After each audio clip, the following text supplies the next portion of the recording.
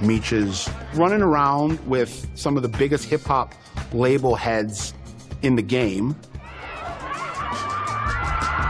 Puffy, Suge Knight, Jermaine Dupri. It's right in front of him, the way that these guys are building these hip hop empires. That was his real passion. He just really wanted to tap in and be like a music mogul.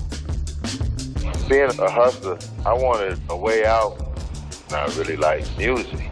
So music was my way out. The reason for me to be even more out front and say, hey, this is what I've been doing, as opposed to I'm the black Pablo Escobar.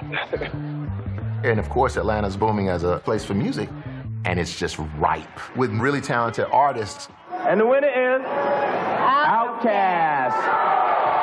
In 1995, Outkast from Atlanta win Newcomers of the Year.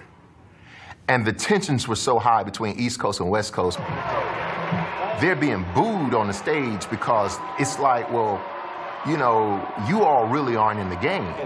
I'm tired of folks, you know what I'm saying? Them closed-minded folks, you know what I'm saying? It's like we got a demo tape and don't nobody want to hear, but it's like this, the South got something to say. That's all I got to say. Yeah. And what he's actually saying is that, like, you all forget where most of you all come from. We got our own style and our rights right here, too. That was a pivotal moment where Andre, Big Boi, they were fighting to create a name for what we were doing down here in the South. When Andre said what he said, he caught a lot of people's attention and also installed confidence in the artists that were coming up under him. When he said that, I just felt like, hell yeah. It's about time somebody said something. You know what I mean? I knew how they thought about cats from the South. They called it country. It turned a page in Atlanta. And for, for Southern music, I think all around.